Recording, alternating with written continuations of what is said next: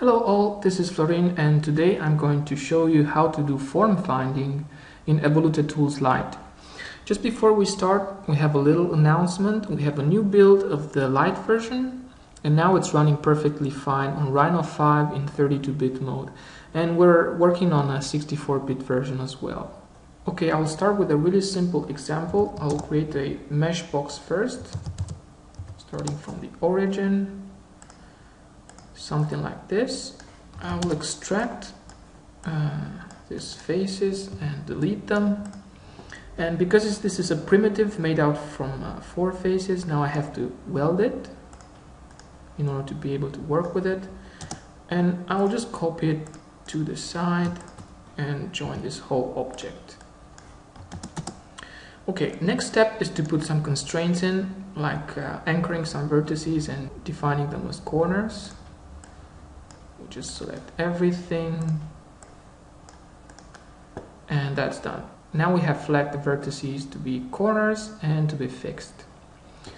And the next step is to do a bit of subdivision, get a nice dense mesh. Great. Now, the main difference in this process is that we don't work with a reference surface at all. So we don't define any reference. We just work with what we have, with what we created. And in order to do form finding, we have to tweak these parameters a bit. And this is just the Lite version. It has fairness springs and fairness curvature. And if we look at fairness springs, what this parameter does is actually it simulates a spring between two vertices. And because of this, your mesh will act like, a, like an elastic material, like a membrane. So let's put something like 0.2 in and maybe a bit of fairness curvature. Okay, and then we just run optimize. Great. So it really does act like an elastic membrane uh, we also have to mention the fact that this is not an accurate way of uh, doing form finding. So these are not mathematically minimal surfaces. But it's good enough to, to play with and uh, explore some interesting shapes. The cool thing is that you can just delete faces and run optimization at any point. If we run optimize again, we'll have instant changes um, or for example if we want to fix this boundary into some other location we just drag it around somewhere fix those vertices and then run optimize again. So this is a really cool way to do form finding with the free version with EvoluteTools Lite. And this allows you to explore some really interesting shapes for either architecture or design or whatever you want.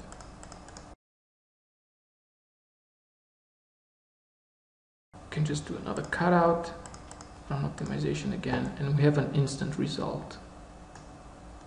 Great. Other really good examples for this type of form finding are tense structures. So let's just draw one up.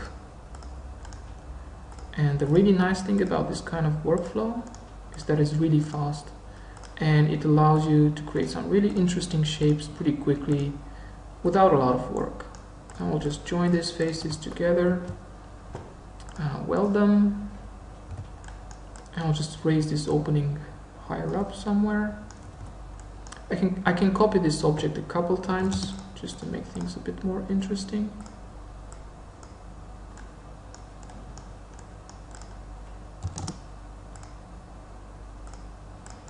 Right. And I will join everything together again. Maybe weld it. Alright. I can play around with the height of these openings get a bit more diversity in the model. That's good. Now it's time to put some constraints in like the fixed vertices. I'll just grab this ends here and define some corner vertices. Again, the corners just break the fairness at that specific point. Alright, now I can do subdivision. Just get it as dense as you want. that should be quite okay. Another thing to do is to set these openings as fixed. Let's just get that done. Just select all these vertices at the openings. Get the other one. Okay. I can grab this vertex right here and just here. Okay, so next step is to run optimization and see how this stuff looks like. Grab the mesh and it's done. So you can create this kind of pretty cool tent-like structures very quickly. For example if we want to move some vertices around now the stuff that we have fixed over here just drag it in some other place run optimize again and the changes are instant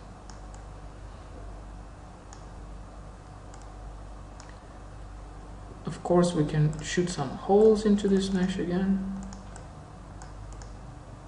Get an instant update almost. So that's about it.